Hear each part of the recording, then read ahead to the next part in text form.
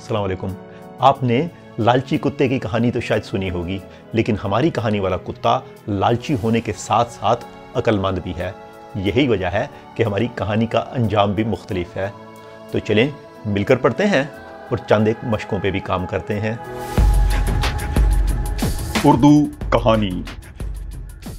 अक्लमंद, लालची कुत्ता। एक गाँव में एक कुत्ता रहता था। ये कुत्ता बहुत लालची और खुदगर्ज था। अपनी चीज़ें किसी को नहीं देता था और दूसरों से उनकी चीज़ें माँगता रहता था।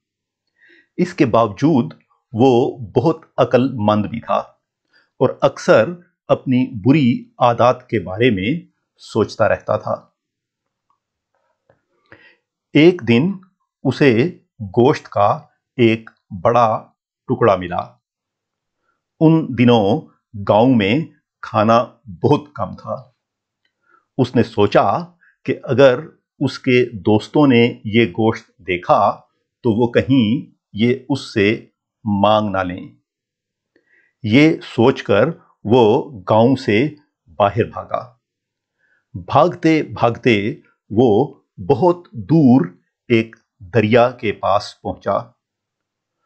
भूखा तो वो पहले से था, इतना तेज भागने से उसे प्यास भी लग गई।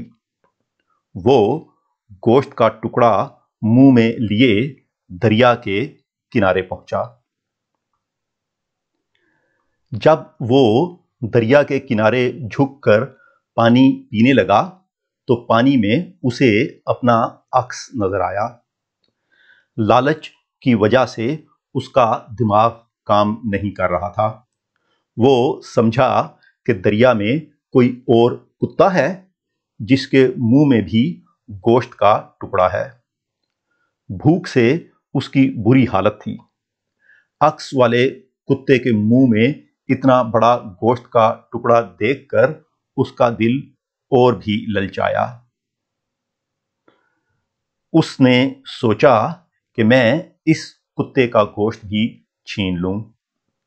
ये सोचकर वो दूसरे कुत्ते को डराने के लिए ज़ोर से भौंका।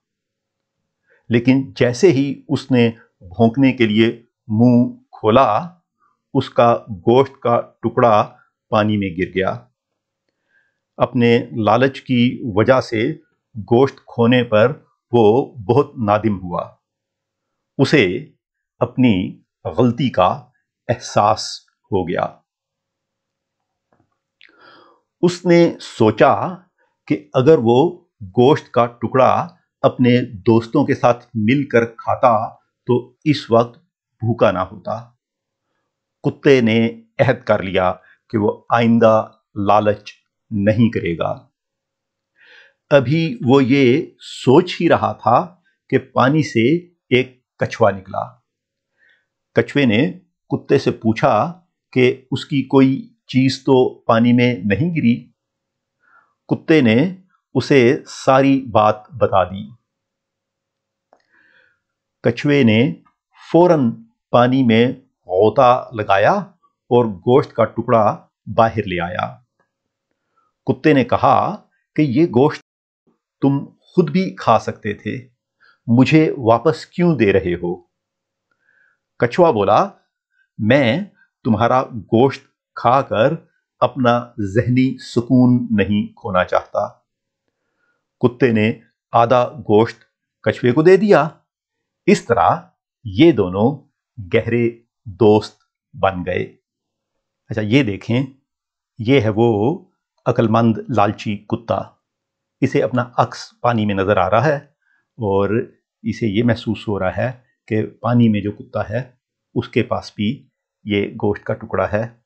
ये है कुत्ता, ये गोश्त का टुकड़ा, ये अक्स गोश्त के टुकड़े का और ये कुत्ते का अक्स भी आपको इस पानी में नज़र आ रहा है। ठीक?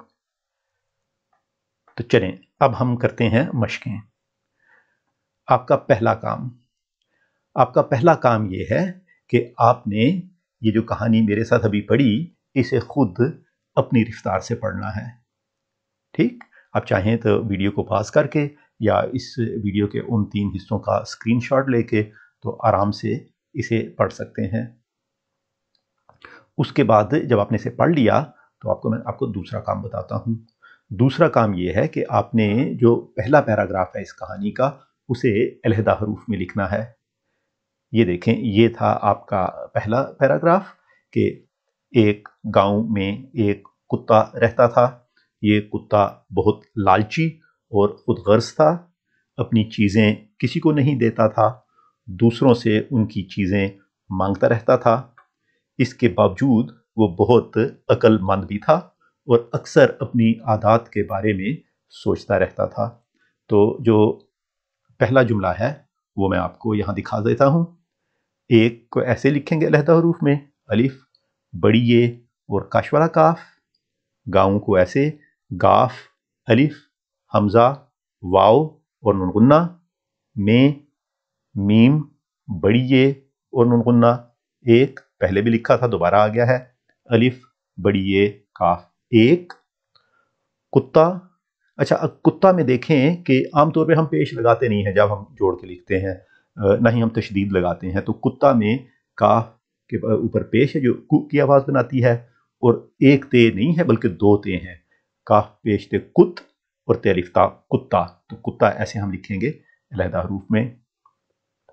रहता, ये देखें रहता रहता में रे, गोल है, ते और अलिफ जो है रहता बना और था में ते तो चश्मी है और अलिफ है। तो एक जुमला मैंने कर दिया तो बाकी जो जुमले हैं, वो आपने खुद करने हैं। और अगला काम आपका, अगला काम आपका ये है कि जो आखिरी पैराग्राफ है इस कहानी का, उसे आपने तब्दील करना है। कुल आपने देखा कि छः पैराग्राफ हैं इस कहानी के, पहले पाँच जो हैं, उन्हें उसी तरह से रहने दें। लेकिन जो आखिरी पैराग्राफ है, उसे आपने इस तरह से तब्दील करना है कि कहानी का अंजाम बदल जाए। तो क्या हो सकता है? क्या कुत्ता अपने किए हुए वादे पे कायम रहेगा या दोबारा लालची बन जाएगा? क्या कछुआ कुत्ते की मदद करेगा? या हो सकता है कोई तीसरा जानवर आपकी कहानी में आ जाए? तो आप जो भी तब्दीली करेंगे, उस तब्दीली को आप नीचे कमेंट सेक्शन में लिख सकते हैं, ताकि बाकी लोग भी आपकी कहानी पढ़ सकें। हमारा आज का वीडियो यहाँ ख़त्म होता है। आइंदा वीडियो तक के लिए आपसे इजाज़त चाहता हूँ। अल्लाह हाफिज़।